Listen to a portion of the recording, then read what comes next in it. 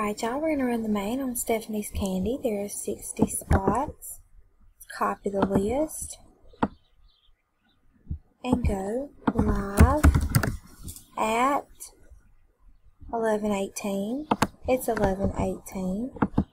Let's paste our list. We have 60 spots, so we are going to need a 7 or higher on the dice. We have a 6, that won't work. Alright, we have a 7 that will. Here we go for the first time at 11.19. After the first time, there are 60 items on the list. Jackie is on top. Jackie's also on bottom. Dice calls for a 7. Here we go, 11.19. 2, 3, 4, 5, 6. After the sixth time, there are 60 items on the list. Liz is on top and Demetrius is on bottom. We've randomized six times. Dice calls for a 7.